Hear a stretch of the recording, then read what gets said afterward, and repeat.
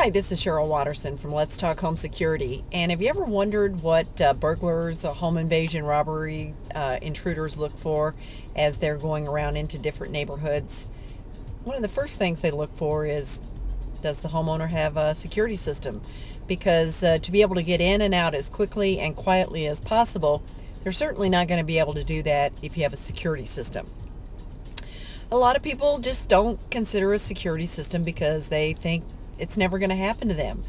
But the truth of the matter is, where home burglaries are becoming more and more prevalent due to the economy, due to people being out of work, that really and truly you need to take every effort you can to protect your home and family today before you have a break-in. So what I'm going to do is, as I drive through uh, this neighborhood, we're going to drive through a neighborhood to see who has security and who doesn't. Because the ones who don't have security are going to be a little more vulnerable than those that do. So let's say that you've got uh, two or three, four homes right in a row. This home has a security sign out front. This home doesn't. This home doesn't. This home down here on the end does. Who do you think is going to be the more vulnerable home? The one that the intruder is probably going to take a look at first it's more than likely not going to be the home that has the, say for instance, the ADT sign out front.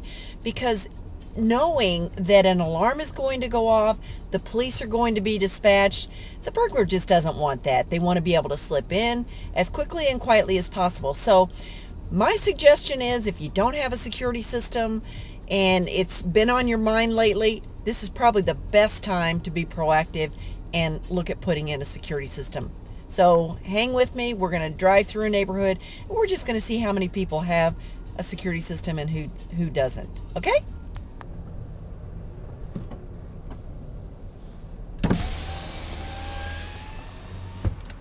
Okay, there's a home that has a security system. Okay. And normally you can see the little security sign. It's uh, typically right in the front of the house. Oh, I see a I see a window decal. I'm just looking at one side here. They have a security system, but I don't see a sign. Okay, we're driving through a neighborhood. Okay, I see um, stickers there. Warning decals. No security. Oh, those intruder burglars love no security. So you can see that probably the majority of people don't have security systems. And I think it's because they just think they live in such a nice neighborhood, which this is really a nice neighborhood, that that they're not going to be affected by crime. And it's neighborhoods like this that are going to be the ones affected by crime because people haven't really taken the necessary precautions to make sure that their home is well protected. I mean, a lot of people just leave their doors unlocked. I was at a restaurant the other night and gee, I couldn't believe the uh, restaurant manager came over and was talking with me.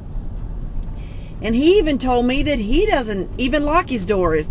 He says, I live in such and such town, which is such a nice community, but uh, I wouldn't go that far as to leave my doors unlocked. So anyway, I'm seeing a couple of homes that have window stickers uh, indicating they have security, but by far the majority don't. So anyway, that's just one uh, one thing that an intruder is going to be looking for is does this home have security or not? And they can always tell by the warning signs and stickers of the alarm company out front. That's why when I sold uh, security systems for ADT security the first thing I did with my customers was to put their yard sign in the front and back area of their home and put the window stickers up. So until next time stay safe